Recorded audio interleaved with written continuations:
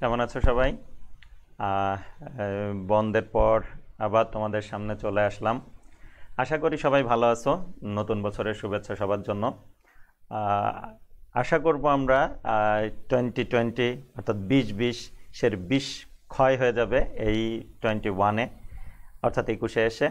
তা সেই কামনা করেই আমরা আজকের ক্লাস আমরা শুরু করছি। তোমরা রুটিনে দেখে থাকবা যে আমাদের আজকের যে টপিক সেটা হলো নিউক্লিক অ্যাসিড আমি এখানে টপিকটা লিখে রাখলাম। ওকে, আর তোমরা যেহেতু ইসে দেখছ রুটিনে দেখছ সেই কারণে তোমরা জানো যে আজকে নিউক্লিক অ্যাসিডের উপরেই ক্লাস হবে, তারপরেও আমি এখানে লিখে রাখছি। ওকে, তাহলে নিউক্লিক অ্যাসিড কি সেটা নিয়ে আগে একটু সাধারণ ধারণা নিব। তারপরে দুই ধরনের নিউক্লিক অ্যাসিড প্রধান, দুই ধরনের নিউক্লিক অ্যাসিড, সেই নিউক্লিক অ্যাসিড দুই ধরনের নিয়ে আমরা একটু কি ডিটেল স্টাডি আজকে থেকে শুরু করব। জানি না আজকে কতটুকু শেষ করতে পারব, যতটুকু শেষ করতে পারব নিউক্লিক অ্যাসিডের, ততটুকু অংশ আজকে শেষ হবে আর যতটুকু বাকি থেকে যাবে, আগামী ক্লাসে সেইটা নিয়ে আমরা আলোচনা করব। তাহলে প্রথমে একটু জেনে নিই নিউক্লিক অ্যাসিড কি। দেখো, কোষের নিউক্লিয়াসের মধ্যে উৎপাদিত অ্যাসিড ধর্মী বিশেষ কিছু উচ্চ আণবিক ওজন সম্পন্ন যৌগ পাওয়া যায় এবং খুবই গুরুত্বপূর্ণ ভূমিকা রাখে জীবের বৈশিষ্ট্য নিয়ন্ত্রণের ক্ষেত্রে। সেই বিশেষ ধরনের নিউক্লিক অ্যাসিড বা রাসায়নিক পদার্থদেরকে, সেই বিশেষ ধরনের অ্যাসিড ধর্মী রাসায়নিক পদার্থগুলোকে আমরা সাধারণভাবে নিউক্লিক অ্যাসিড বলে থাকি। অর্থাৎ নিউক্লিয়াসে উৎপত্তি হয় এবং ধর্ম অ্যাসিডিক, সেই কারণেই মূলত তাদেরকে নিউক্লিক অ্যাসিড বলা হয়। এখন প্রশ্ন হলো, এই নিউক্লিক অ্যাসিড কারা? নাম বললেই কিন্তু তোমরা চিনে যাবা যে নিউক্লিক অ্যাসিড কারা? বহুবার বহুবার বহু জায়গায় নাম শুনছ। একটা এক ধরনের নিউক্লিক অ্যাসিডের নাম হলো ডিএনএ। সবাই ডিএনএ শব্দটার সাথে পরিচিত। ওকে আর এক ধরনের নিউক্লিক অ্যাসিড আছে। সেই নিউক্লিক অ্যাসিডটার নাম হলো আরএনএ। তাহলে ডিএনএ এবং আরএনএ নাম শুনে নাই এমন স্টুডেন্ট আমার মনে হয় সায়েন্স পড়ে না। তার মানে সায়েন্স যারা পড়ে, এমনকি ইভেন আর্টস যারা পড়ে, তারাও এই ডিএনএ এবং আর আরএনএর হলো নাম শুনছে। তাহলে আমি একটু ডিএনএর নামটাকে ইলাবোরেট করে দিই। ডিঅক্সিরাইবো নিউক্লিক অ্যাসিড তার মানে এই এনএতে নিউক্লিক অ্যাসিড তাহলে এখানেও দেখো এনএতে কি নিউক্লিক অ্যাসিড তাহলে আরে কি? রাইবো নিউক্লিক অ্যাসিড তার মানে ডিএনএও এক ধরনের নিউক্লিক অ্যাসিড আর এক ধরনের নিউক্লিক অ্যাসিড এখন আমরা যদি দেখি, তাহলে ডিএনএ কিন্তু নিউক্লিয়াসের মধ্যেই উৎপাদিত হয় এবং নিউক্লিয়াসের মধ্যেই সেটা থাকে। নিউক্লিয়াস থেকে কিন্তু বের হয়ে আসে না। কিন্তু আমরা যদি আরএনএকে দেখি, তাহলে নিউক্লিয়াসের মধ্যে উৎপাদিত হয়, নিউক্লিয়াসের মধ্যে কিছু অংশ থাকে, আর কিছু অংশ নিউক্লিয়াস থেকে বের হয়ে সাইটোপ্লাজমে চলে আসে। তাই আমরা এই কথা বলতে পারি না যে নিউক্লিয়াসের মধ্যে অবস্থিত, খেয়াল করো, নিউক্লিয়াসের মধ্যে অবস্থিত অ্যাসিড ধর্মী পদার্থ, উচ্চ আণবিক সম্পন্ন পদার্থকে নিউক্লিক অ্যাসিড বলে। কারণ এখানে আরএনএ কিন্তু শুধু নিউক্লিয়াসেই অবস্থান করে না, তারা কিন্তু সাইটোপ্লাজমেও চলে আসে। তবে ডিএনএ কিন্তু নিউক্লিয়াসেই তৈরি হয়, নিউক্লিয়াসের মধ্যেই অবস্থান করে। তাহলে আমরা এখন লাস্ট যে কথায় আসলাম যে নিউক্লিক অ্যাসিডটা কি, নিউক্লিয়াসের মধ্যে উৎপাদিত উচ্চ আণবিক ওজন সম্পন্ন। উচ্চ আণবিক ওজনটা কি আমি পরে ব্যাখ্যা করব, যখন আমরা এই ডিএনএ আরএনএর গঠন শিখে যাব, তখন উচ্চ আণবিক ওজনটা কি সেটা আমরা বুঝে যাব। উচ্চ আণবিক ওজন সম্পন্ন অ্যাসিড ধর্মী অত্যন্ত গুরুত্বপূর্ণ বৈশিষ্ট্য প্রকাশের ক্ষেত্রে ভূমিকা রাখার এই বিশেষ গুরুত্বপূর্ণ রাসায়নিক পদার্থকেই মূলত আমরা নিউক্লিক অ্যাসিড বলি। ওকে, তাহলে নিউক্লিক অ্যাসিড নাম কেন হলো সেটা বোধহয় আমরা অলরেডি বুঝে গেলাম যে নিউক্লিয়াসে উৎপাদিত হচ্ছে এবং ধর্ম অ্যাসিডিক। সেই কারণে এদের নাম হয়েছে নিউক্লিক অ্যাসিড। এবং নিউক্লিক অ্যাসিডের যে দুইটা ভেরিয়েন্ট, একটা ডিএনএ এবং আর একটা আরএনএ, তাদের নাম আমরা জানি। এখন আমরা এদের মধ্যে পার্থক্য করব। এরা কি, এরা কীভাবে তাদের কপি তৈরি করে, কীভাবে তারা বৈশিষ্ট্য প্রকাশে ভূমিকা রাখে, এটা কিন্তু খুব কমন একটা জিজ্ঞাসা, যে ডিএনএ দ্বারা আমরা জানি যে বৈশিষ্ট্য নিয়ন্ত্রিত হয়, সাথে আরএনএ হেল্প করে। হাউ কীভাবে সেটা? তো সেইগুলাই আমরা ধীরে ধীরে আলোচনা করব। আশা করি এই চারটা ক্লাস আমরা এই মাসের যে চারটা ক্লাস আমরা নিব। এই চার ক্লাসের মধ্যে আমরা ডিএনএর গঠন আরএনএর গঠন ডিএনএ আরএনএর মধ্যে পার্থক্য এবং সাথে ডিএনএ থেকে ডিএনএ উৎপাদনের কৌশল এবং ডিএনএ কীভাবে ডিএনএ এবং আরএনএ কীভাবে বৈশিষ্ট্য প্রকাশে ভূমিকা রাখে এই বিষয়গুলো আমরা ডিটেলে স্টাডি করে জেনে বুঝে যাব ইনশাল্লাহ ওকে তাহলে আমরা আর সময় নষ্ট না করি, আমরা এখন প্রথম যে বিষয়টা নিয়ে আলোচনা করব সেটা হলো ডিএনএর গঠন নিয়ে আমরা আলোচনা করব। তাহলে আজকে আমাদের আলোচ্য বিষয় হবে ডিএনএর গঠন। তাহলে ডিএনএর গঠন নিয়ে যদি আমাদের আলোচনা করতে হয়, তাহলে প্রথমে একটু ডিএনএ দেখে আসতে হবে। তাহলে ডিএনএ থাকে কোথায়? আমরা জানি যে নিউক্লিয়াসের মধ্যে যে ক্রোমাটিন তন্তু বা ক্রোমোজোম যাই বলি না কেন, তার মূল গাঠনিক উপাদানই হলো ডিএনএ। ওকে? এবং সাথে হিস্টোন প্রোটিন থাকে, আমরা তো আগেই পড়ে এসেছি। তাহলে সেই ডিএনএর লোকেশনটা আমরা দেখে আসব। ডিএনএ শেপ দেখে আসব। দেখতে কেমন? অর্থাৎ ডিএনএ দেখতে কেমন? তার চেহারা আমরা আগে একটু দেখে আসব। তাহলে আমাদের কি হবে? এই ডিএনএর এই ডিএনএর গঠন স্টাডি করতে অনেক সুবিধা হবে। ওকে তাহলে আমরা প্রথমেই একটা ভিডিও আমরা দেখব। এখানে দেখো, আমরা যে ভিডিওটা এখানে রান করছি, খেয়াল করো, এই যে আমি একটু সরে যাই এখান থেকে। আচ্ছা এই পাশে সরে আসি। দেখো, আমরা এখন আছি কোষের ভেতরে। ধীরে ধীরে আমরা কোষের মধ্যে ঢুকছি। কোষের মধ্যে আমরা এখন মাইটোকন্ডিয়ন এই যে পাস করে আমরা এখন নিউক্লিয়াসের কাছাকাছি চলে এসছি। এখন আমরা নিউক্লিয়াসের মধ্যে প্রবেশ করছি। এবার যদি খেয়াল করে দেখো, তাহলে এই যে নিউক্লিয়াসের মধ্যে যে অংশ আমরা এখন দেখতে পাচ্ছি, এই অংশই কিন্তু অ্যাকচুয়ালি খেয়াল করো, এই যে আমরা নিউক্লিয়াসের মধ্যে যে অংশ দেখতে পাচ্ছি, এই যে অংশ এইটাই কিন্তু এই যে এই যে এখন আপাতত এইসের মতো যেটা দেখতে পাচ্ছ, এইটা হলো কি? ক্রোমোজোম। ক্রোমোজোমের গঠন নিয়ে আমরা আলোচনা করছিলাম। ক্রোমোজোমে দুইটা ক্রোমাটিড থাকে, এই যে একটা আর এই পাশে আরেকটা। এই দুইটা ক্রোমাটিড। যারা এই যে দেখো সেন্ট্রোমিয়ারে পরস্পরের সাথে ক্রোমাটিড দুইটা লেগে আছে। আমরা এই ক্রোমোজোমের গঠন অনেক আগেই পড়ে এসেছি।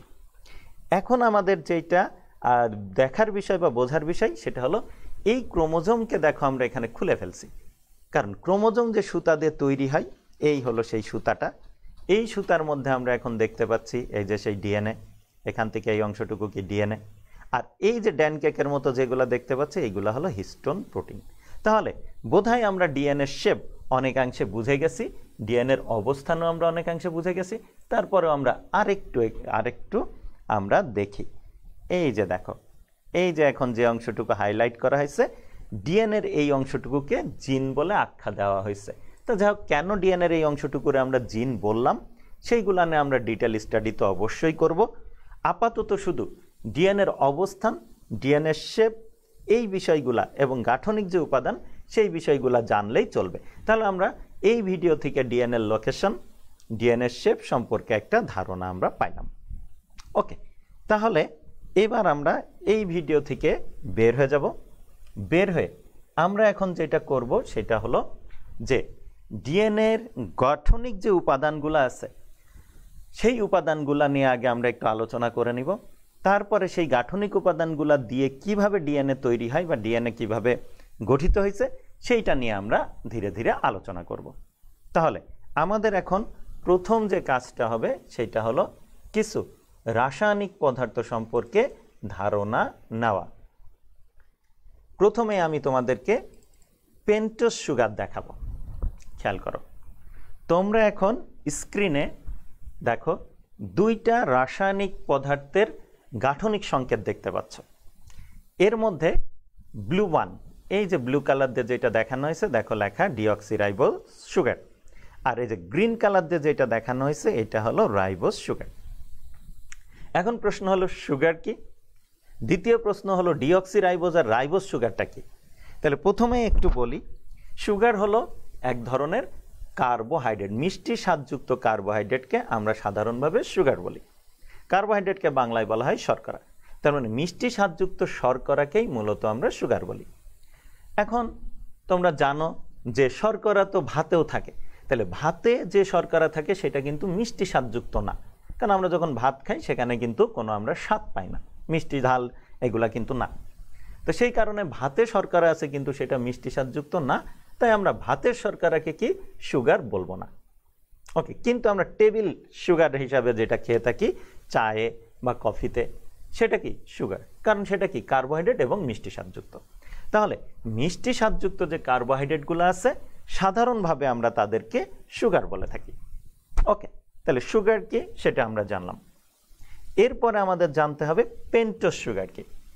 পেনটা মানে পাঁচ, আর সুগার মানে তো মিষ্টি স্বাদযুক্ত কার্বোহাইড্রেট তাহলে পাঁচ কার্বন বিশিষ্ট যে মিষ্টি স্বাদযুক্ত কার্বোহাইড্রেট পৃথিবীতে আছে, তাদেরকে আমরা সাধারণভাবে কি বলব? পেন্টোস সুগার তাহলে পেন্টোস সুগার আরও অনেক থাকতে পারে, বা আছেও। আমরা শুধু দুইটা পেন্টোস সুগারকে আপাতত চিনব। সেই দুইটা পেন্টোস সুগার দেখো, আমরা স্ক্রিনে রেখে দিছি। একটার নাম রাইবোস সুগার আর একটার নাম দেখো ডিঅক্সি রাইবোস সুগার এখন যদি তুমি একটু গুণে দেখতে চাও, দেখবা পাঁচটা কার্বন তুমি পাবা এবং মিষ্টি স্বাদযুক্ত কার্বোহাইড্রেট এরা তাই এরা কি পেন্টো সুগার? ওকে। এখন দুইটা কার্বোহাইড্রেটের মধ্যে পার্থক্য দেখো। প্রথমে আমরা রাইবোস সুগারটাকে দেখি। দেখো, এই যে রাইবোস সুগারের এই জায়গাটাই দেখো ওএইচ এবার, আমি যদি এই রাইবোস সুগারের এই ওটাকে যদি ডিলেট করে দিই, তাহলে যেইটা আসে সেইটাই হলো ডিঅক্সি রাইবোস সুগার। এই যে ডিঅক্সি রাইবোস সুগারে দেখো, এই দুই নম্বর কার্বনে ওএইচ নাই। অর্থাৎ রাইবোস সুগারের দুই নম্বর কার্বনের ওএইচের ওকে যদি তুমি ডিলেট করে দাও, তাহলে যে সুগার পরিণত পরিণত হবে, যে উপাদান তৈরি হবে, সেইটাকে আমরা বলব হলো ডিঅক্সি রাইবোস সুগার। তার মানে রাইবোস সুগার থেকে অক্সিজেন ডিলেট হয়ে গেছে। সেই কারণে ওইটার নাম কি হয়েছে? Deleted oxygen from ribose sugar তাহলে deleted oxygen from ribose sugar কে আমরা সংক্ষেপে বলে থাকি? ডিঅক্সি রাইবোস সুগার ওকে তার মানে রাইবোস সুগারকে আগে তুমি চিনবা এবং রাইবোস সুগারের দুই নম্বর কার্বন থেকে একটা অক্সিজেন ডিলেট করে দিবা।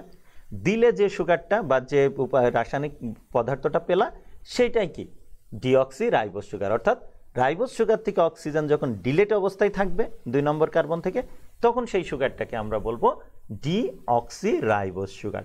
তার মানে এখানে ডি দ্বারা আমরা বোঝাচ্ছি ডিলেটেড আর অক্সিড বলতে আমরা বুঝছি অক্সিজেন ফ্রম কোথায়? Ribose sugar. তার মানে রাইবোস সুগারের দুই নম্বর কার্বন থেকে অক্সিজেন ডিলেট হয়ে যে সুগার তৈরি হয় সেটাকেই মূলত আমরা ডিঅক্সি রাইবোস সুগার বা deleted oxygen from ribose sugar বলে থাকি। তাহলে deleted oxygen from ribose sugar অনেক লম্বা নাম। সেইটাকে ইজি করার জন্য আমরা সংক্ষেপে ডিঅক্সি রাইবোস সুগার বলে থাকি। ওকে তাহলে আমরা এখানে দুইটা পেন্টোস সুগারকে চিনলাম আপাতত রাইবোস আর ডিঅক্সি রাইবোস নামক দুইটা পেন্টোস সুগার চিনলাম। আরও পেন্টোস সুগার আছে, সেইগুলা নিয়ে আপাতত আমরা আলোচনা করব না। কারণ এই নিউক্লিক অ্যাসিডের গাঠনিক উপাদান হিসাবে তাদের ভূমিকা নাই। এদের আছে, তাই এদের নিয়ে আলোচনা করলাম। এবার আমি এই বিষয়টাকে এখানে একটু নোট ডাউন করে রাখব। পরে আমরা এটা নিয়ে আলোচনা করব। সেটা হলো পেন্টোস সুগার। কয় প্রকার চিনলাম আমরা? দুই প্রকার। এই দুই প্রকার আমরা একটু নোট ডাউন করে নিই। একটা হলো রাইবোস আর একটা হলো ডি অক্সি রাইবোস ওকে, তাহলে রাইবোস আর ডি অক্সি রাইবোস এই দুই ধরনের পেন্টোস সুগার আমরা দেখলাম এবং সেই বিষয়টা আমরা এখানে একটু নোট ডাউন করে রাখলাম যে পেন্টোস সুগার কয় প্রকার? দুই প্রকার রাইবোস আর ডিঅক্সি রাইবোস যাদেরকে চিনলাম শুধু তাদের নামই আমরা এখানে নোট ডাউন করলাম। আরও কিন্তু পেন্টো সুগার আছে, সেই দিকে আমরা গেলাম না। ওকে এবার এই নিউক্লিক অ্যাসিডের গাঠনিক উপাদান হিসাবে আর একটা গুরুত্বপূর্ণ উপাদান ব্যবহৃত হয়, যাকে আমরা বলে থাকি nucleic acid sorry sorry sorry এই সে নাইট্রোজেনাস বেস এখন প্রশ্ন হলো নাইট্রোজেনাস বেসটা কি? বেস বেস শব্দের অর্থ হলো ক্ষার। আর নাইট্রোজেন ঘটিত, অর্থাৎ নাইট্রোজেন দ্বারা সংগঠিত হয়, তৈরি হয় বিধায়, তাদেরকে আমরা বলে থাকি নাইট্রোজেনাস বেস। ওকে, তাহলে আমরা এখন দেখে আসি সেই নাইট্রোজেনাস বেস কারা। এবার সেই নাইট্রোজেনাস বেসকে আমরা একটু দেখতে চাচ্ছি। খেয়াল করো, এবার আমাদের দেখার বিষয় যেটা, সেটা হলো নাইট্রোজেনাস বেস। আমরা এই যে দেখো এখন স্ক্রিনে আমরা যদি একটু জুম করতে পারি আচ্ছা জুম না করা গেলেও সমস্যা নাই। আশা করি তোমরা দেখতে পাচ্ছ। এখানে আমরা যে পাঁচটা রাসায়নিক পদার্থকে দেখতে পাচ্ছি, তোমরা যদি দেখতে ছোট দেখাই, একটু স্ক্রিনশট নিয়ে পরে একটু জুম করে নিও। তাহলে, এই যে রাসায়নিক পদার্থগুলো দেখতে পাচ্ছি, প্রত্যেকটার গাঠনিক উপাদান হিসাবে নাইট্রোজেন আছে। এবং প্রত্যেকটা প্রত্যেকটার গাঠনিক উপাদান যেমন নাইট্রোজেন এবং প্রত্যেকটা ধর্ম হলো ক্ষারীয় বেসিক হলো ক্যারেক্টারিস্টিক্স এদের। সেই কারণে আমরা এদেরকে বলে থাকি নাইট্রোজেনাস বেস অর্থাৎ নাইট্রোজেন জাতীয় নাইট্রোজেন দিয়ে গঠিত অন্যতম, শুধু যে নাইট্রোজেন তা না, অন্যতম উপাদান নাইট্রোজেন। তাহলে নাইট্রোজেন ঘটিত ক্ষার জাতীয় পদার্থকে আমরা কি বলছি? নাইট্রোজেনাস বেস বা নাইট্রোজেন ঘটিত ক্ষারক। ওকে এবার একটু দেখো নোট একটু নোটিস করার বিষয় যে এখানে উপরের দুইটা দেখো ডাবল সাইক্লিক এই যে দেখো সাইকেল দুইটা করে, উপরের দুইটাতেই। আর নিচের যে তিনটে আছে দেখো তিনটাতেই হলো তিনটাই সিঙ্গেল সাইক্লিক এই যে সিঙ্গেল সাইক্লিক তিনটাই।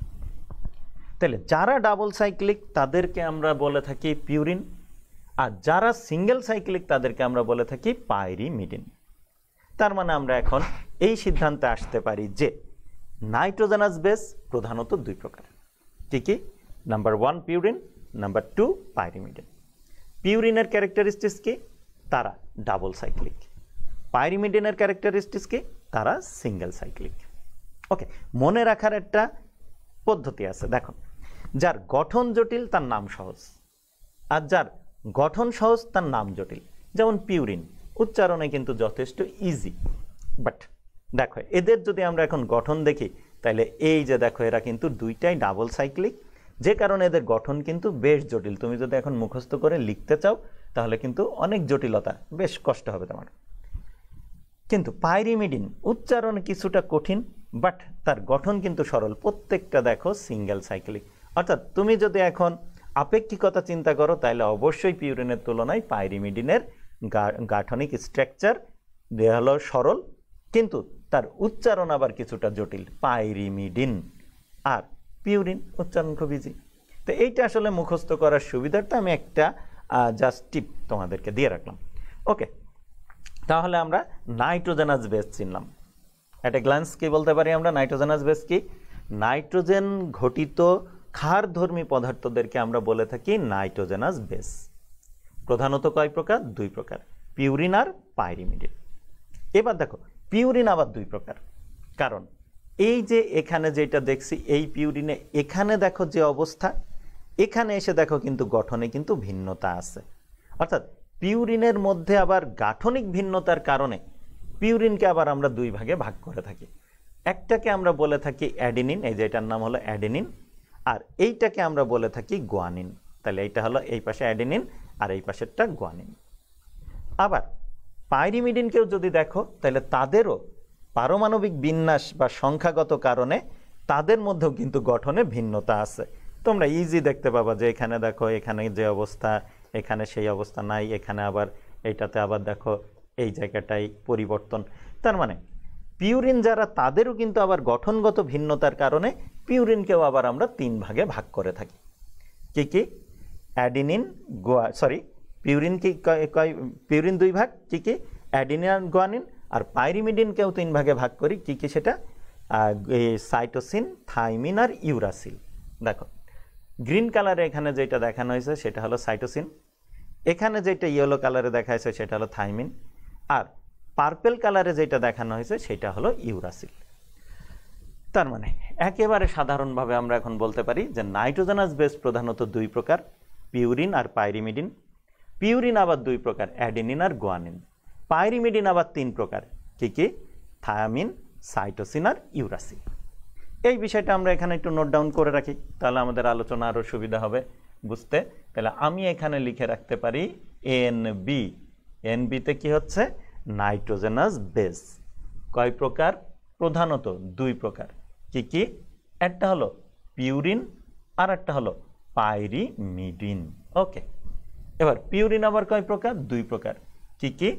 পিউরিন একটা হলো অ্যাডিনিন আর একটা হলো গুয়ানিন। ওকে, আমাদের এখানে এটা সুন্দর হয় নাই। এই যে, অ্যাডিনিন, গুয়ানিন। পাইরিমিডিন আবার তিন প্রকার। কি কি? সাইটোসিন, থায়ামিন আর ইউরাসিল। ওকে, তাহলে আশা করি আমরা এই নাইট্রোজেনাস বেস সম্পর্কেও মোটামুটি একটা ধারণা পেয়ে গেলাম। আপাতত আমাদের এদের গাঠনিক স্ট্রাকচারের দিকে যাওয়ার দরকার নাই, শুধু এই প্রকারভেদগুলো মনে রাখলেই চলবে। ওকে, এরপরে আমরা ফাইনালি আর একটা উপাদান, যেটা নিউক্লিক অ্যাসিডের গঠনের অন্যতম আর একটা উপাদান, নাম তার ফসফেট। খেয়াল করো, সেটাকে চিনব। এখন দেখো, ফসফরাস ঘটিত যে কোনো পদার্থকে আমরা সাধারণভাবে ফসফেট বলে থাকি। খেয়াল করো, এই ফসফরিক অ্যাসিড যেহেতু ফসফরাস ঘটিত পদার্থ, তাহলে অবশ্যই ফসফরিক অ্যাসিড কি? এক ধরনের ফসফেট। তাহলে আমরা ফসফরিক অ্যাসিড, ফসফেট হিসাবে আমরা ফসফরিক অ্যাসিডকে চিনব। তাহলে ফসফরিক অ্যাসিড যদি আমরা এখন চিনতে চাই, তাহলে অবশ্যই আমাদেরকে একটা ছবি দেখতে হবে। এই ছবিতে আমরা ফসফরিক অ্যাসিডের, খেয়াল করো, ফসফরিক অ্যাসিডের গাঠনিক সংকেত আমরা এখানে দেখতে পাচ্ছি। ওকে তাহলে, তোমরা বোধহয় এখন স্ক্রিনে ফসফরিক অ্যাসিডের গাঠনিক সংকেতটা দেখতে পাচ্ছ। আমি আর গাঠনিক সংকেত লিখব না, আমি জাস্ট এর আণবিক সংকেতটা লিখে রাখতে পারি অথবা দরকার নাই জাস্ট সিম্বলিকভাবে আমি এখানে পি দিয়ে ফসফেট বা ফসফরিক অ্যাসিডকে বুঝাইলাম। তাহলে, এই পি বলতে আমি কি বোঝাচ্ছি? স্ক্রিনে তোমরা স্ক্রিনে যে রাসায়নিক পদার্থটার গাঠনিক সংকেত দেখ- দেখতে পাচ্ছ? আমি এই পি দিয়ে সেই স্ক্রিনে থাকা যে রাসায়নিক পদার্থটা তাকে বুঝাইলাম, অর্থাৎ ফসফরিক অ্যাসিডকে বুঝাইলাম। তাহলে তুমি সাধারণভাবে একে ফসফেট বলতে পারো, খেয়াল করো, কারণ যেহেতু কি, আমরা জানি ফসফরাস ঘটিত সকল পদার্থকেই ফসফেট বলা হয়, সাধারণভাবে। তো সেই হিসাবে ফসফরিক অ্যাসিডও কি এক ধরনের ফসফেট? তাহলে আমরা এখানে পি দ্বারা ফসফেট বুঝাইলাম আর এই ফসফেটটা অ্যাকচুয়ালি এই ফসফেট নাথিং বাট কি? ফসফরিক অ্যাসিড ওকে তাহলে আমরা মোটামুটি এখানে দেখো, তিন ধরনের রাসায়নিক পদার্থ নিয়ে আলোচনা করলাম। এরাই মূলত নিউক্লিক অ্যাসিডের গাঠনিক উপাদান। কী কী সেটা? পেন্টোস সুগার যার আবার দুইটা ভেরিয়েন্ট শিখলাম। তারপর নাইট্রোজেনাস বেস তার আবার টোটাল পাঁচটা ভেরিয়েন্ট সম্পর্কে ধারণা পেলাম। আর ফাইনালি যেটা, সেটা হলো ফসফেট ফসফেট হিসাবে শুধু আমরা একটা উপাদানকে চিনলাম। নাম কি তার? Phosphoric acid. ওকে তাহলে এই উপাদানগুলা যদি আমরা চিনে যেয়ে থাকি তাহলে এখন আমাদের যেটা করতে হবে সেটা হলো এই উপাদানদেরকে জোড়াতালি দিয়ে আমাদেরকে ডিএনএর স্ট্রাকচারের দিকে বা নিউক্লিক অ্যাসিডের স্ট্রাকচারের দিকে যেতে হবে। তাহলে এখন আমরা যেটা করব সেটা হলো এখন আমাদেরকে জোড়াতালি দিতে হবে। তাহলে কার সাথে কাকে জোড়া দিব? আমরা এখন এখান থেকে বের হয়ে যেতে পারি। বের হয়ে গিয়ে আমরা স্ক্রিনটাই আহ, দেখতে পারি। খেয়াল করো। এবার আমরা এখানে জোড়া তালি দিতে পারি। কাকে কাকে জোড়া দিব? প্রথমে মনে করো আমরা একটা পেন্টোস সুগারকে নিলাম। Okay this one pentose sugar. আমি সিম্বলিকভাবে দেখাচ্ছি। আমি এই পেন্টোস সুগারটার কিন্তু রাসায়নিক গঠন তোমাদেরকে স্ক্রিনে দেখাইছিলাম। রাসায়নিক গঠন আমাদের দরকার নাই, আপাতত। কারণ আমরা এখন নিউক্লিক অ্যাসিডের ভৌত গঠনটাই মূলত আলোচনা করব। তাই পেন্টোস সুগারকে আমি এই জায়গাটাই সিম্বলিকভাবে দেখাইলাম দিস ওয়ান পেন্টোস সুগার। ধরে নাও, এখানে এক নম্বর কার্বন আছে, এখানে দুই, এখানে তিন, এখানে চার, এই জায়গায় আছে পাঁচ নম্বর কার্বন। তাহলে এইটা অক্সিজেন, আর এইটা হলো এই পেন্টোস সুগারের রিং স্ট্রাকচার আমরা সিম্বলিকভাবে দেখাচ্ছি। ওকে, এইবার কি করব? আমরা এই পেন্টোস সুগারের এক নম্বর কার্বনে এই এক নম্বর কার্বনে আমরা একটা নাইট্রোজেনাস বেজ জুড়ে দিব। আমি এবার নাইট্রোজেনাস বেসটাকেও কিন্তু সিম্বলিকভাবে দেখাবো, তার গাঠনিক সংকেত দিয়ে নয়। ওকে, তাহলে এইটা যদি হয় পেন্টোস সুগার, আমি লিখে রাখলাম পিএস পেন্টোস সুগার, আর এইটা তাহলে কি? এনবি, অর্থাৎ নাইট্রোজেনাস বেস এখন খেয়াল করো, এই যে কোনো ধরনের পেন্টোস সুগার তুমি নাও সেটা রাইবোজ হইতে পারে ডিঅক্সি রাইবোজ হইতে পারে ডাজেন্ট ম্যাটার তার সাথে তুমি কি করো, তার এক নম্বর কার্বনে তুমি যুক্ত করো নাইট্রোজেনাস বেস, যে কোনোটা। তাহলে যে পদার্থ তৈরি হবে তখন এই টোটাল পদার্থটাকে আমরা বলব নিউক্লিওসাইড। কি বলব? নিউক্লিওসাইড। ওকে, তাহলে এখন নিউক্লিওসাইড কাকে বলে? যে রাইবোজ আর ডিঅক্সি রাইবোজ টাইপের পেন্টোস সুগারের এক নম্বর কার্বনে পিউরিন আর পাইরিমিডিন যে কোনো টাইপের নাইট্রোজেনাস বেস যুক্ত হয়ে যে নতুন যে যৌগটা তৈরি করে, সেই যৌগকে আমরা বলে থাকি নিউক্লিওটাইড। ওকে, তাহলে নিউক্লিওটাইড কাকে বলে আমরা জানলাম। এবার আমাদের যেটা শিখতে হবে, সেটা হলো এই নিউক্লিওটাইডের পেন্টোস সুগার থাকল, নাইট্রোজেনাস বেস থাকল, এই পেন্টোস সুগারের পাঁচ নম্বর কার্বনে আমাদেরকে যেতে হবে। গিয়ে সেখানে কি করব? সেখানে আমরা এই এই যে ফসফেট যেটা ছিল, সেই ফসফেটকে আমরা এই জায়গাটায় যুক্ত করে দিব। অর্থাৎ এখানে ফসফেট বলতে যেটা বুঝাইছি আমরা, সেটা হলো ফসফরিক অ্যাসিড। তাইলে আমরা এখানে সেই ফসফরিক অ্যাসিডকে যুক্ত করে দিলাম। দিলে এখন যে গঠনটা তৈরি হলো, এই টোটাল গঠনটাকে আমরা এখন বলব নিউক্লিওটাইট কি বলব? নিউক্লিওটাইট ওকে, তাহলে নিউক্লিওসাইট কাকে বলে আমরা শিখছি আগে? এখন আমরা শিখলাম নিউক্লিওটাইট কাকে বলে। তাহলে নিউক্লিওসাইড আর নিউক্লিওটাইট যদি আমরা বুঝে যেয়ে থাকি, তাহলে নিউক্লিক অ্যাসিডের গঠন অলমোস্ট আমরা শিখে গেছি। ওকে, কীভাবে? আমি তার আগে একটু নিউক্লিওটাইডের এই ছবিগুলো একটু তোমাদেরকে দেখায় নিই তাহলে তোমাদের বুঝতে সুবিধা হবে।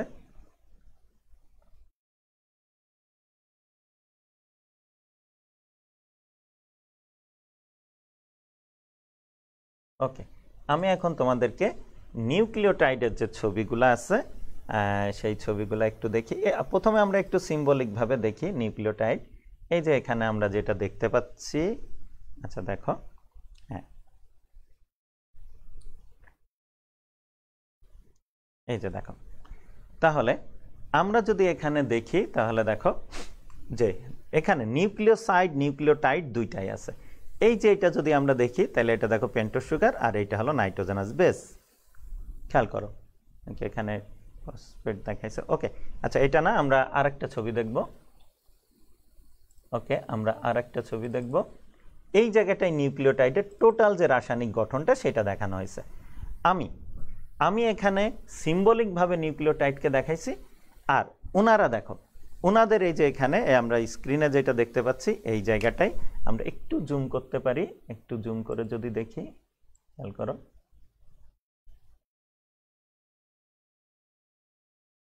এই যে খেয়াল করো। তাহলে আমরা এখন স্ক্রিনে যে রাসায়নিক পদার্থটা দেখতে পাচ্ছি টোটালটা এই টোটালটাই কিন্তু একটা নিউক্লিওটাইড ওকে তাহলে এই যে নিউক্লিওটাইডের একটা মানে আমি এখানে সিম্বলিকভাবে যে নিউক্লিওটাইডটাকে দেখাইছি স্ক্রিনে তোমরা তার গাঠনিক সংকেত সহ সেই নিউক্লিওটাইডটাকে দেখতে পাচ্ছ। এখন খেয়াল করো, নিউক্লিওটাইডকে আবার আমরা প্রধানত দুই ভাগে ভাগ করে থাকি। কি কি? একটাকে আমরা বলি রাইবো নিউক্লিওটাইড আর একটাকে আমরা বলে থাকি ডিঅক্সি রাইবো নিউক্লিওটাইড কীভাবে? দেখো, এই যে পেন্টোস সুগার আমরা এখানে যেটা দেখতে পাচ্ছি, এই পেন্টোস সুগারের দেখো দুই নম্বর কার্বনে ওএইচ আছে। তার মানে এই নিউক্লিওটাইডের যে পেন্টোস সুগারটা, সেই পেন্টোস সুগারটা হলো রাইবোস টাইপের। তাই, আমরা এখন স্ক্রিনে যে নিউক্লিওটাইডটাকে দেখতে পাচ্ছি, এইটাকে এখন আমরা বলব রাইবো নিউক্লিওটাইড খেয়াল করো। কিন্তু এই নিউক্লিওটাইডের পেন্টোস সুগারটা যদি, খেয়াল করো, এই নিউক্লিওটাইডের এই পেন্টোস সুগারের এখানে যদি অক্সিজেন না থাকতো তাহলে পেন্টোস সুগারটা হয়ে যেত হলো ডিঅক্সিরাইবোস টাইপের, আর টোটাল নিউক্লিওটাইডটাকে তখন আমরা বলতাম ডিঅক্সিরাইবো নিউক্লিওটাইড ওকে তাহলে নিউক্লিওটাইড যে প্রধানত দুই প্রকার, সেটা আমরা জেনে গেলাম। কি কি? রাইবো নিউক্লিওটাইড আর ডিঅক্সিরাইবো নিউক্লিওটাইড তাহলে রাইবো নিউক্লিওটাইড কখন? যে নিউক্লিওটাইডের পেন্টোস সুগারটা রাইবোস টাইপের হবে, সেটাকে আমরা বলব রাইবো নিউক্লিওটাইড আর যে নিউক্লিওটাইডের পেন্টোস সুগারটা ডিঅক্সিরাইবোস টাইপের হবে, সেটাকে আমরা বলব ডিঅক্সিরাইবো নিউক্লিওটাইড তাহলে নিউক্লিওটাইড যে প্রধানত দুই প্রকার সেটা আমরা জানলাম, তাদের মধ্যে যে পার্থক্যটা সেটা আমরা জানলাম। এবারে একটু মজার একটা ঘটনা, সেটা হলো এই রাইবো নিউক্লিওটাইডের যে নাইট্রোজেনাস বেসগুলো আমরা দেখতে পাচ্ছি, এই রাইবো নিউক্লিওটাইডে কখনোই, অর্থাৎ রাইবোস সুগারের এক নম্বর কার্বনে কখনোই তুমি থাইমিনকে যুক্ত হইতে দেখবা না। অর্থাৎ এই যে থাইমিন, এই থাইমিন কখনো রাইবো নিউক্লিওটাইডে থাকে না। তাহলে রাইবো নিউক্লিওটাইডের নাইট্রোজেনাস বেস হিসাবে কি থাকতে পারে? অ্যাডিনিন থাকতে পারে, গুয়ানিন থাকতে পারে, সাইটোসিন থাকতে পারে, ইউরাসিল থাকতে পারে। আবার তুমি যদি ডিঅক্সি রাইবো নিউক্লিওটাইড দেখো, তাহলে সেখানে পেন্টোস সুগার হিসাবে কখনোই ইউরাসিল থাকে না। কি থাকতে পারে? অ্যাডিনিন থাকতে পারে, গুয়ানিন থাকতে পারে, সাইটোসিন থাকতে পারে, থায়ামিন থাকতে পারে। তার মানে আমরা এখন আবার রাইবো নিউক্লিওটাইডকে আবার চার ভাগে ভাগ করতে পারি। কি কি? অ্যাডিনিন বিশিষ্ট রাইবো নিউক্লিওটাইড গুয়ানিন বিশিষ্ট রাইবো নিউক্লিওটাইড সাইটোসিন বিশিষ্ট রাইবো নিউক্লিওটাইড আর ইউরাসিল বিশিষ্ট রাইবো নিউক্লিওটাইড ওকে আর ডিঅক্সি রাইবো নিউক্লিওটাইডকেও তাইলে আমরা এখন দুই ভাগে, চার ভাগে ভাগ করে ফেলি। কী কী? অ্যাডিনিন বিশিষ্ট ডিঅক্সিরাইবোনিউক্লিওটাইড, গুয়ানিন বিশিষ্ট ডিঅক্সি ডিঅক্সিরাইবোনিউক্লিওটাইড, সাইটোসিন এবং থায়ামিন বিশিষ্ট ডিঅক্সিরাইবোনিউক্লিওটাইড। তার মানে একদম সাধারণভাবে যদি আমরা বলি, তাহলে যদি কোনো নিউক্লিওটাইডের পেন্টোস সুগারটা রাইবোস টাইপের হয়, তাহলে তার যে নাইট্রোজেনাস বেজ যেটা থাকবে তার এক নম্বর কার্বনে, সেইটা কখনোই থায়ামিন হইতে পারবে না বাদ বাকি চারটার যে কোনোটা হতে পারবে। আর যদি আমরা এই এখানকার, এই যে কোনো নিউক্লিওটাইডের যদি আমরা পেন্টোস সুগারটাকে ডিঅক্সিরাইবোস টাইপের পাই, তাহলে তার এক নম্বর কার্বনে কখনোই তোমরা ইউরাসিল পাবা না।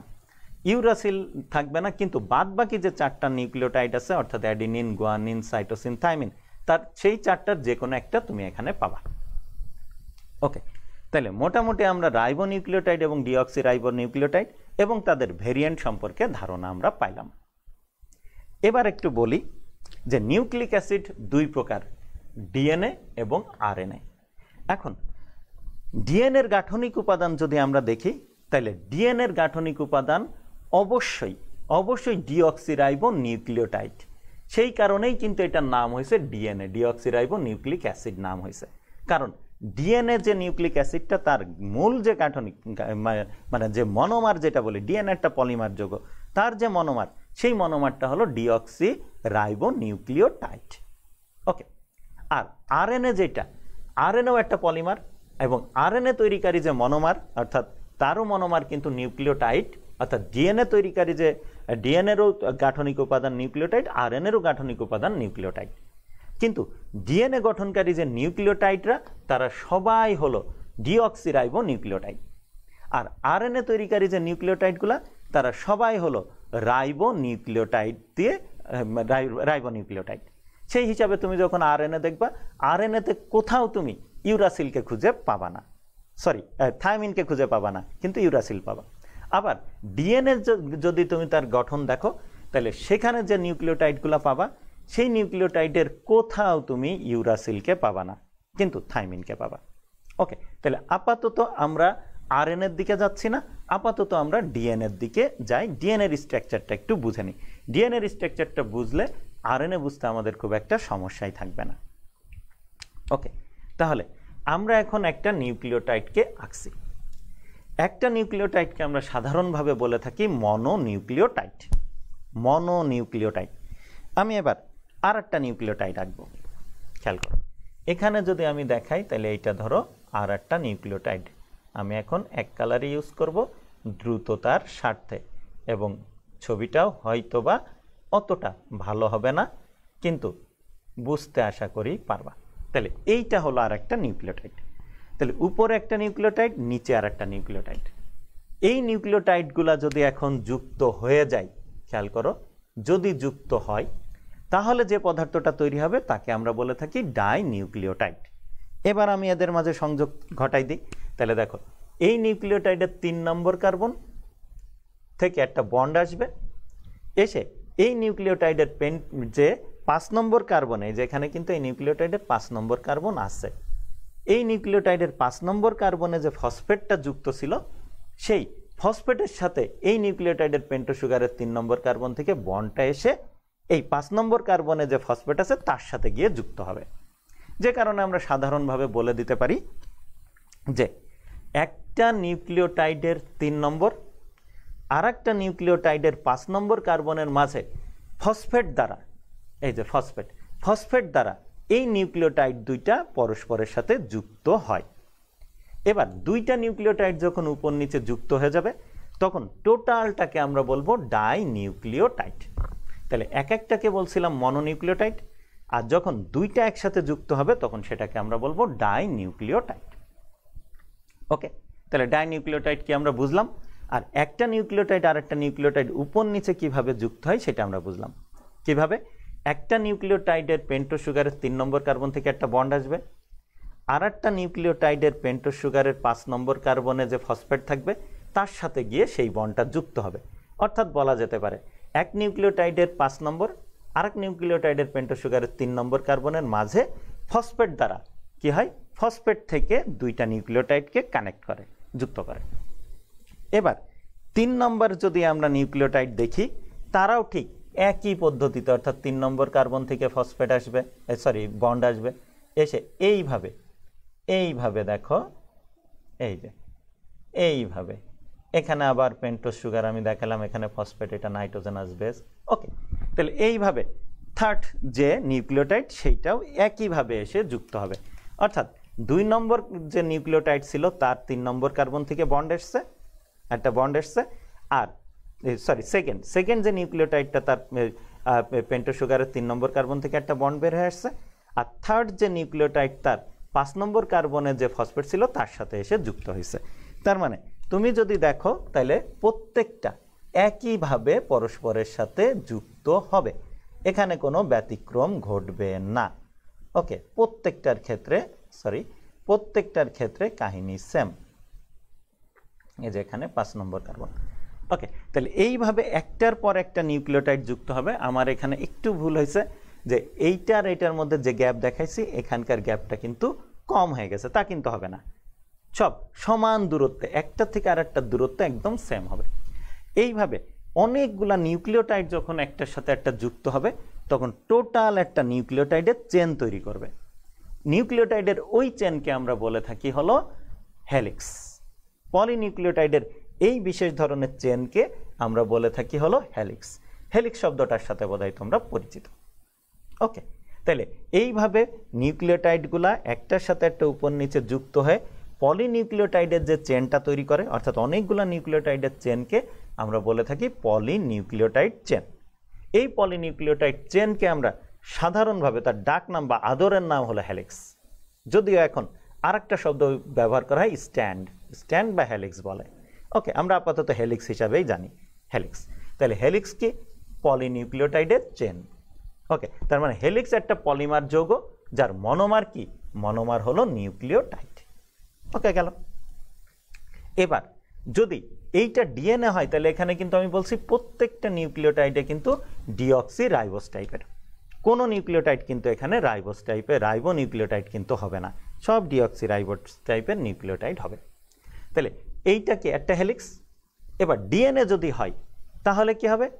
এমন আর একটা হেলিক্স ঠিক তার পাশে সমান্তরালে ঠিক উল্টাভাবে অবস্থান করবে। উল্টা বলতে, আমি যদি এখন দেখাই তাহলে দেখো, এইটা হলো আর একটা হেলিক্স। তাহলে ওখানে দেখো পেন্টোস সুগারের অক্সিজেনটা ছিল উপরের দিকে, এখানে কি নিচের দিকে চলে আসছে। এবং এখানে দেখো, এখানে কার্বন, এখানে ছিল এক নম্বর, এখানে দুই, এখানে তিন, এখানে চার এই জায়গায় দেখো পাঁচ নম্বর কার্বন। তার মানে এখানে যদি দেখো এই নিউক্লিওটাইডের পেন্টো সুগারের পাঁচ নম্বর কার্বন উপরে বাট এই নিউক্লিওটাইডের পেন্টোস সুগারের পাঁচ নম্বর কার্বন নিচে। আর এই নিউক্লিওটাইডের তিন নম্বর কার্বন উপরে, এইটার নিউক্লিওটাইডের পেন্টো সুগারের তিন নম্বর কার্বন নিচে। তার মানে কি, উল্টা হলো। তাহলে এইভাবে উল্টা আর একটা হেলিক্স, অর্থাৎ এই হেলিক্সে তুমি যত কি পাবা, যত নিউক্লিওটাইড পাবা প্রত্যেকটা নিউক্লিওটাইড এই একই ডিরেকশনে অবস্থান করবে। অর্থাৎ পরস্পরের উল্টাভাবে মানে ওইটা যা ছিল, ঠিক তার। উল্টাভাবে এখন নতুন আর একটা হেলিক্স এই পাশে এসে অবস্থান নিবে। ওকে, আমরা যদি দেখাই তাহলে দেখো যে ওইটা ছিল একটা হেলিক্স, এইটা আর একটা হেলিক্স। ওকে, তাইলে এই পাশের যে হেলিক্সটা আসছে যেভাবে, এই পাশের হেলিক্সটা ঠিক উল্টাভাবে অর্থাৎ এই হেলিক্সের প্রত্যেকটা পেন্টোস সুগারের তিন নম্বর কার্বন দেখো উপরে, পাঁচ নম্বর কার্বন নিচে। এখানেও যদি আমরা দেখি, এক, দুই, তিন, চার, পাঁচ, প্রত্যেকটার ক্ষেত্রে সেম তাই আমরা এই হেলিক্সটাকে বলে থাকি ফাইভ থ্রি হেলিক্স আর এইটাকে আমরা বলে থাকি থ্রি ফাইভ হেলিক্স অবশ্যই এখানে ফাইভের উপর একটা প্রাইম চিহ্ন থ্রির উপর একটা প্রাইম চিহ্ন ব্যবহার করা হয়। কারণ এখানেই প্রাইম দিয়ে বোঝানো হয় যে পেন্টোস সুগারের তিন নম্বর কার্বন এই প্রাইম দিয়ে বোঝানো হয় হলো পেন্টো সুগার অর্থাৎ প্রাইম দ্বারা মূলত পেন্টো সুগারকে ইন্টিগ্রেট করা হয়। কারণ এখানে নাইট্রোজেনাস বেজও কার্বন আছে আবার পেন্টোস সুগারেও কার্বন আছে। আমি কোন কার্বনকে ইঙ্গিত করছি? যেহেতু পেন্টোস সুগারের কার্বনকে ইঙ্গিত করছি, তাই পেন্টোস সুগারকে বোঝানোর জন্য আমরা এই প্রাইম চিহ্নকে ইউজ করে থাকি। তার মানে প্রাইম দেখে কি বুঝব? পেন্টোস সুগারের তিন নম্বর কার্বন আগে লেখা মানে উপরে, এবং পেন্টোস সুগারের পাঁচ নম্বর কার্বন পরে লেখা মানে নিচে আছে। তাই এই হেলিক্সটার নাম দিছি আমরা ফাইভ থ্রি ফাইভ হেলিক্স আর এই হেলিক্সটার নাম দিছি আমরা ফাইভ থ্রি হেলিক্স বা prime five prime three helix আর এটার নাম হলো prime three prime five helix okay তাইলে দুইটা হেলিক্স পরস্পরের সমান্তরালে, কিন্তু কি হবে? অবশ্যই পরস্পরের উল্টাভাবে অর্থাৎ আমার হাতে মনে করো দুইটা হেলিক্স এইটা এটা কখনো এইভাবে থাকবে না, এইভাবে থাকবে।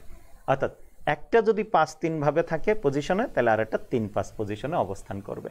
করে তারা পরস্পরের সমান্তরালে অবস্থান নিবে। নেওয়ার পর এইবার দেখো দুইটা হেলিক্স পরস্পরের সাথে যুক্ত হবে। কীভাবে? দেখো, যদি এখানে অ্যাডিনিন থাকে, আমি এখানে ধরে নিলাম যে এখানে অ্যাডিনিন আছে, তাহলে অবশ্যই এই জায়গাটায় থাইমিন থাকবে। এখানে যদি সাইটোসিন থাকে, তাহলে অবশ্যই এখানে গুয়ানিন থাকবে।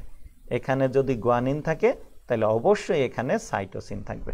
অর্থাৎ অ্যাডিনিন, থায়ামিন, সাইটোসিন, গুয়ানিন, এরাই কি পরস্পরের পরিপূরক এবং এরাই সাধারণত পাশাপাশি থাকবে।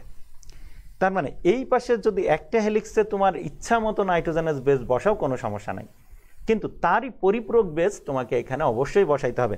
না হলে তারা পরস্পরের সাথে যুক্ত হবে না। আর এইভাবে যদি অ্যাডিনিন আর থাইমিন থাকে তাহলে তারা পরস্পরের মধ্যে দুইটা হাইড্রোজেন বন্ড দিয়ে যুক্ত হয়ে যায়। আর যদি সাইটোসিন আর গুয়ানিন থাকে, তাহলে তিনটা হাইড্রোজেন বন্ড দিয়ে যুক্ত হয়। এইভাবে এইভাবে হাইড্রোজেন বন্ড দিয়েই মূলত কি হয়? একটা হেলিক্সের সাথে আর একটা হেলিক্স যুক্ত হয়ে যায়। এইভাবে যখন দুইটা হেলিক্স পরস্পরের সাথে লেগে থাকে, তখন সেটাকে আমরা বলে থাকি ডাবল হেলিক্স। কি বলি? Double helix. আমরা বারবার শুনে আসি ডিএনএ ডাবল হেলিক্স। তাহলে এই হলো সেই ডাবল হেলিক্স।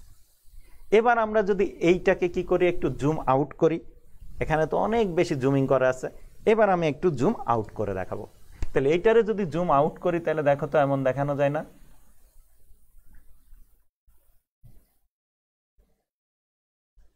খেয়াল করো। আচ্ছা এইটা হবে না। হ্যাঁ। ওকে। এই যে তার মানে এইটা যদি ধরি ফসফেট এটা পেন্টোস সুগার এটা nitrogenous base phosphate pentose sugar nitrogenous base phosphate pentose sugar এই যে নাইট্রোজেনাস বেস তাহলে এটা একটা হেলিক্স এই পাশে যদি আমি আর একটা হেলিক্সকে আঁকি, ঠিক ওইভাবে একটু জুম আউট করে, তাহলে কি এমন দেখাবে? এই যেমন এবং এদের মধ্যে হাইড্রোজেন বন্ড আছে, এইভাবে। অর্থাৎ এইটাকেই আমি এখানে কি করলাম? এইটাকেই আমি এখানে জুম আউট করে দেখালাম। অর্থাৎ ওখানে যেটা এইটা, এই এখানে যে স্ট্রাকচারটা ছিল, অনেক বেশি জুমিং করা ছিল, এখানে আমরা সেইটাকে জাস্ট জুম আউট করে আমি এখানে তোমাদের সামনে দেখাইলাম। তাহলে দেখতে দেখো কেমন দেখাচ্ছে, একদম ময়ের মতো। ঠিক আছে? মই বা সিঁড়ির মতো।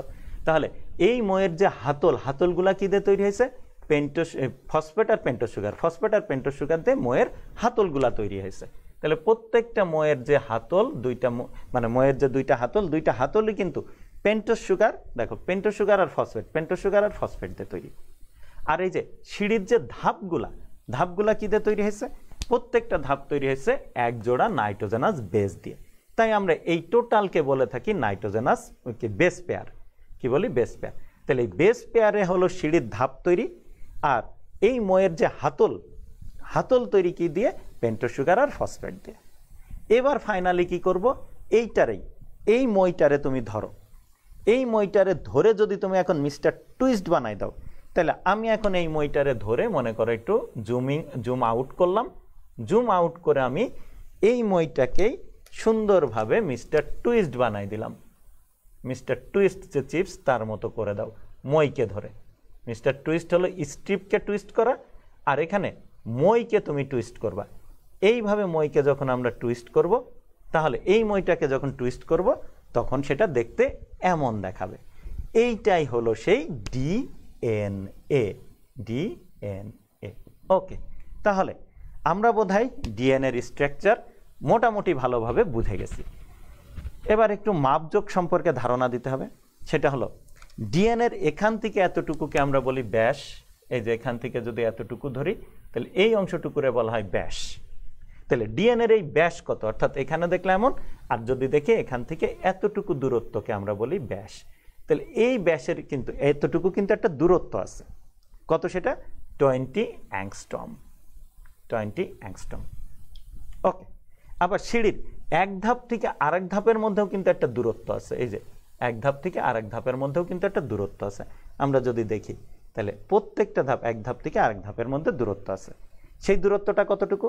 সেই দূরত্বটা হলো three point four angstrom three point four angstrom এবং এক ধাপ থেকে আর এক ধাপের মধ্যে দূরত্ব সব ক্ষেত্রেই, এই যে আমার যে চিত্রটা হয়েছে, এটা কিন্তু ভুল। কারণ আমি কিন্তু এখানে বেশ গ্যাপ দেখাই ফেলছি। গ্যাপ দেখানোর অন্যতম কারণ ছিল যে আমি এখানে যেন একটু কিছু লিখে এইগুলা বোঝাইতে পারি। তাই গ্যাপটা দিছিলাম। কিন্তু এইটা কিন্তু ভুল। আমার যখন, আমরা যখন আঁকবো তখন খেয়াল রাখতে হবে যে এক ধাপ থেকে আরেক ধাপের মধ্যে কোনো মানে এক ধাপ থেকে আরেক ধাপে যে দূরত্ব তুমি দেখাবা, প্রত্যেকটা ধাপের মধ্যেই বেস পেয়ারের মধ্যে দূরত্ব কিন্তু সেম হবে। অর্থাৎ এইটাও হবে কি থ্রি পয়েন্ট ফোর অ্যাংস্টম এখান থেকে এতটুকু কিন্তু থ্রি পয়েন্ট ফোর অ্যাংস্টমই কিন্তু হবে। ঠিক আছে? তাহলে এক ধাপ থেকে আরেক ধাপের মধ্যে যে দূরত্ব, সেই দূরত্ব হলো থ্রি পয়েন্ট ফোর অ্যাংস্টম এবার আমরা যেটা দেখব, সেটা হলো ডিএনএর একটা প্যাচ আমরা কোথা থেকে বিবেচনা করব? খেয়াল করো, আমরা যদি এখন দেখি, তাহলে এতটুকু হলো ডিএনএর একটা প্যাচ। আমি ডিএনএর একটা প্যাচকে রেখে বাকি অংশটুকু মুছে দিলাম। তাহলে এতটুকু হলো ডিএনএর এইটুকু হলো ডিএনএর একটা প্যাস এখন বলতে পারো, স্যার, দেখে তো তিন প্যাচ মনে হচ্ছে, আপনি এক প্যাস কেন বললেন? কারণ এই হেলিক্স দুইটা যখন পেঁচাই তখন তোমরা একটা অক্ষকে কল্পনা করবা। সেই কাল্পনিক অক্ষকে ঘিরে হেলিক্স দুইটা ঘুরে আসে। তাই এইটা ঘুরে আবার দেখো এই লেভেলে যখন আসবে, এই যে এই লেভেলে চলে আসবে, আবার এইটাও ঘুরে দেখো এই লেভেলে, ঠিক এই লেভেলে যখন চলে আসবে, এতটুকুকেই আমরা একটা প্যাচ হিসাবে বিবেচনা করব। ওকে, তাহলে এই টোটালটুকু হলো একটা প্যাচ ডিএনএর একটা প্যাচ খেয়াল করো। এবার এই প্যাচের দৈর্ঘ্য কত? এই প্যাচের দৈর্ঘ্য হলো থার্টি ফোর অ্যাংস্টম কারণ এই ডিএনএর একটা প্যাচের মধ্যে মোট দশটা বেস প্যাচ থাকে, অর্থাৎ দশটা কি সিঁড়ির ধাপ থাকে। আমরা এখানে কয়টা আঁকছি দেখো? এক, দুই, তিন, চার, পাঁচ, ছয়, সাত, আট। তাহলে এই জায়গায় আমরা একটা ধাপ দেখাই দিই, এই জায়গায় একটা ধাপ দেখাই দিই। তাহলে দশটা হয়ে গেল। তাহলে প্রতিটা ডিএনএর প্রতিটা প্যাচে হলো সিঁড়ির ধাপ হলো দশটা, অর্থাৎ বেস পেয়ার দশটা। ওকে, আর এক বেস পেয়ার থেকে আর এক বেস পেয়ারের মধ্যে যেহেতু দূরত্ব কত আমরা জানি? থ্রি পয়েন্ট ফোর অ্যাংস্টম তাই টোটাল প্যাচের দূরত্ব হবে থার্টি ফোর অ্যাংস্টম ওকে তাহলে এক একটা ডিএনএ অণুর এক একটা প্যাচের দূর- দূরত্ব থার্টি ফোর অ্যাংস্টম খেয়াল করো, একটা ডিএনএর সাথে আরেকটা ডিএনএর মধ্যে তার প্যাচের দূরত্ব এবং গঠনের সাথে কোনো পার্থক্য নাই। অর্থাৎ আমার এবং যদি এখন পাখির ধরো, দুইজনেরই, আমার ডিএনএর হলো প্যাচ এক প্যাচের দূরত্ব থার্টি ফোর অ্যাংস্টম খেয়াল করো। আবার গাঠনিক উপাদান যা বললাম সেম তাহলে পার্থক্য কোথায়? হয়তোবা হয়তোবা যেটা যে পাখির কোষে ডিএনএর সংখ্যার আমার দেশের দেহের ডিএনএর সংখ্যার মধ্যে পার্থক্য আছে। হয়তোবা না, আছে। এবং পাখির দেহের যে ডিএনএগুলো আছে, সেই ডিএনএ যে নাইট্রোজেনাস বেজের যে বিন্যাস আর আমার ডিএনএ নাইট্রোজেনাস বেজের বিন্যাসের মধ্যে অ্যারেঞ্জমেন্টে কি আছে? পার্থক্য আছে। তাই পাখি আমার থেকে ভিন্ন। প্লাস আরও আর একটা বিষয় যেটা আছে, সেটা হলো যে পাখির একটা ডিএনএতে দেখা যাচ্ছে প্যাচের সংখ্যা যতটা, আমার ডিএনএতে প্যাচের সংখ্যা হয়তো বা তার থেকে বেশি, আমার কোনো একটা ডিএনএ তে প্যাচের সংখ্যা বেশি। তো এইভাবে যে এক জীব থেকে আর এক জীবের ডিএনএর স্ট্রাকচার কিন্তু সেম, ডিএনএর গঠনে কোনো পার্থক্য নাই। তাহলে এক জীব থেকে আরেক জীব ভিন্ন হয় কীভাবে? মূলত ওই যে ডিএনএর প্যাচের সংখ্যা, ভিন্নতা তারপর ডিএনএর নাইট্রোজেনাস বেজের বিন্যাসের ভিন্নতা এবং ডিএনএর সংখ্যার ভিন্নতা। ঠিক আছে? যেমন আমাদের প্রত্যেকটা কোষে ছেচল্লিশটা ডিএনএ আছে, প্রত্যেক ক্রোমোজোমে একটা করে ডিএনএ ওকে? তাহলে আমার ধরে নিলাম, সাধারণভাবে আমি এইভাবে বললাম যে আমাদের প্রত্যেকটা ক্রোমোজোমে একটা করে ডিএনএ অর্থাৎ ছেচল্লিশটা ক্রোমোজোমে ছেচল্লিশ ডিএনএ এবার আমরা যদি দেখি, তাহলে ধানে, ধান গাছেও কি ডিএনএ আছে? তার ক্রোমোজোম চব্বিশটা চব্বিশটা ক্রোমোজোমের চব্বিশটা ডিএনএ তাহলে আমার থেকে তার ক্রোমোজোমের সংখ্যাই ভিন্নতা। প্লাস আমার প্রত্যেকটা ক্রোমোজোমে যে ডিএনএ আছে, সেই ডিএনএতে যে নাইট্রোজেনাস বেজের যে বিন্যাস, আর ধানের ডিএনএ নাইট্রোজেনাস বেজের বিন্যাস কিন্তু সেম না। আমার যেমন অ্যাডেনিন সাইটোসিন গুয়ানিন এরকম আছে। মনে করো ধানের ক্ষেত্রে প্রথমে আছে সাইটোসিন তারপর কি গুয়ানিন তারপর সাইটোসিন সাইটোসিন এমন আছে। সেই কারণে কি ধান আমার থেকে ভিন্ন। আর একটা যেটা, সেটা হলো প্যাচ। আমার প্রত্যেকটা ডিএনএতে যে ডিএনএর প্যাচ যতগুলো আছে, ধানের প্রত্যেকটা ডিএনএর প্যাচের সংখ্যা কি সেম না? সেই কারণে ধান আর আমি কি ভিন্ন? দুইজনে দুইটাই আমরা কি জীব বাট আমি আর ধানের মধ্যে বৈশিষ্ট্যগত নানান ভিন্নতা আছে। ওকে তাহলে আমরা এখন সাধারণভাবে যেটা বলতে পারি যে ডিএনএর গঠন সব জীবের ক্ষেত্রে সেম যা আমি আলোচনা করলাম। খেয়াল করো, তার ব্যাস টোয়েন্টি অ্যাংস্ট্রম, তার প্রতি প্যাচের দৈর্ঘ্য থার্টি ফোর অ্যাংস্ট্রম এক ধাপ থেকে আরেক ধাপের মধ্যে দূরত্ব থ্রি পয়েন্ট ফোর অ্যাংস্ট্রম প্রত্যেকের ডিএনএ ডাবল হেলিক্স প্রত্যেক ডিএনএ তৈরিতে রাইবোনিউক্লিওটাইড ব্যবহৃত হয়েছে তারপর প্রত্যেক ডিএনএতে একটা ফাইভ থ্রি হেলিক্স আর একটা থ্রি ফাইভ হেলিক্স আছে, তারা পরস্পরের সাথে হাইড্রোজেন বন্ড দিয়ে যুক্ত পরস্পরের উল্টাভাবে থেকে নাইট্রোজেনাস বেসগুলোর মধ্যে হাইড্রোজেন বন্ড সৃষ্টি হয়ে হেলিক্স দুইটা পরস্পরের সাথে যুক্ত। তাহলে এই কথাগুলো সব ডিএনএর ক্ষেত্রে কি? প্রযোজ্য। খেয়াল করো। তাহলে পার্থক্যটা কোথায় সেটা বোধহয় আমি তোমাদের ক্লিয়ার করতে পারছি। ওকে তাহলে মোটামুটি আমরা আজকে ডিএনএর স্ট্রাকচার অনেকাংশে বুঝে গেলাম। লাস্ট যেটা, দেখো সব কিছু ঠিক আছে। শুধু এই ডিঅক্সি রাইবোনিউক্লিওটাইডের জায়গায় তুমি রাইবোনিউক্লিওটাইড বসাই দাও, আর ডাবল হেলিক্স বানাও না সিঙ্গেল হেলিক্স রাখো। তাইলেই সেটা কি? আরএনএ হয়ে যাবে। তার মানে ডিএনএ এবং আরএনএর মধ্যে পার্থক্যটা কোথায়? আরএনএ প্রধান পার্থক্য যেটা আরএনএ হলো single helix DNA double helix এবং আরএনএ তৈরিকারী যে নিউক্লিওটাইডগুলা, তারা সব রাইবো নিউক্লিওটাইড আর ডিএনএ তৈরিকারী যে নিউক্লিওটাইডগুলা, তারা সবাই ডিঅক্সি রাইবো নিউক্লিওটাইড এই এছাড়া ডিএনএ এবং আরএনএর স্ট্রাকচারে তেমন কোনো পার্থক্য নাই। তবে হ্যাঁ আর আছে, সাইজে পার্থক্য আরও অনেক পার্থক্য আছে, কিন্তু মূল গাঠনিক উপাদান গঠন শৈলী কিন্তু অনেকটা কাছাকাছি। অনেকটা একটা রকমের। ওকে, অর্থাৎ তাদেরও এই নিউক্লিওটাইড এবং নিউক্লিওটাইডের পলিমার তারাও এরাও। ওকে তো যাই হোক, আমরা আগামী ক্লাসে ডিএনএ এবং আরএনএর মধ্যে সিমিলারিটি ডিসিমিলারিটি নিয়ে আমরা আলোচনা করব এবং একটা আরএনএর গঠন নিয়ে আমরা আলোচনা করে যেমন টি আরএনএ বলে এক ধরনের আরএনএ আছে, তার গঠন আলোচনা করে আমরা যদি টোটালটা নিয়ে ই করি ডিএনএ এবং আর আরএনএর মধ্যে পার্থক্য করার চেষ্টা করি, তাহলে আমার মনে হয় যে আমরা বেটারভাবে আরও বুঝতে পারব। ওকে তাহলে আমাদের আজকে আর আলোচনার বিষয় কিছু থাকল না। আমার টার্গেট ছিল ডিএনএর স্ট্রাকচারটা তোমাদের একটু বুঝিয়ে দেওয়া। আমি বোধহয় সেটা সক্ষম হয়েছি। লাস্ট যেটা, সেটা হলো আমরা ডিএনএর স্ট্রাকচারের একটা ভিডিও দেখে শেষ করব। এই ভিডিও নিয়ে যদি কোনো কমেন্ট থাকে ডিএনএর স্ট্রাকচারের উপরে কিছু একটা ভিডিও আমরা একটু দেখব। দেখে আমাদের ক্লাসটা আজকে শেষ করব।